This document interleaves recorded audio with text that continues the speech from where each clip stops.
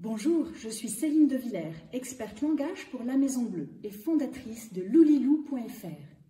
Bienvenue dans cette vidéo Savoir reconnaître le babillage de bébé.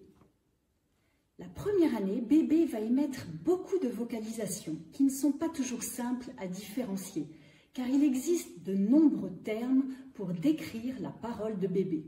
Vocalise, babillage. Et pourtant, Inutile d'être un expert pour arriver à reconnaître le babillage de votre tout petit. C'est très facile, je vais vous l'expliquer. Après la vocalise, facilement identifiable comme la première voyelle émise A ou E, les muscles de la bouche de votre bébé se tonifient.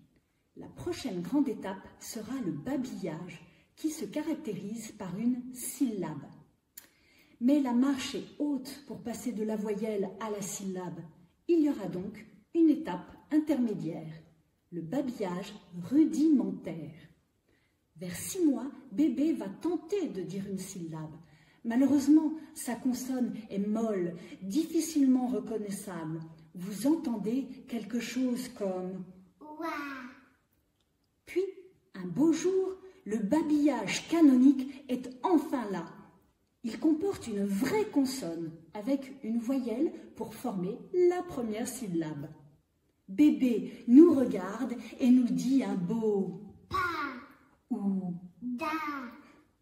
En français, les premiers babillages sont souvent avec des consonnes explosives telles P, T, B, D, qui sont les sons les plus faciles à réaliser.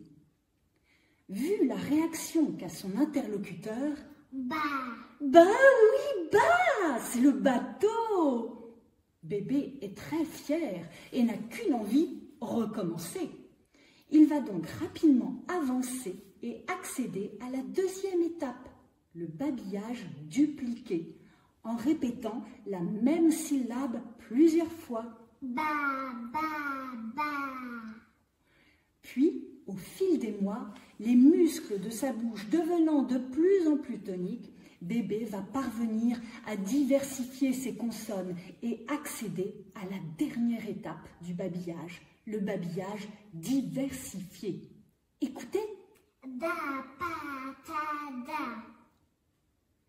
J'espère que cette vidéo, savoir reconnaître le babillage, vous a rendu à l'aise avec ce dernier.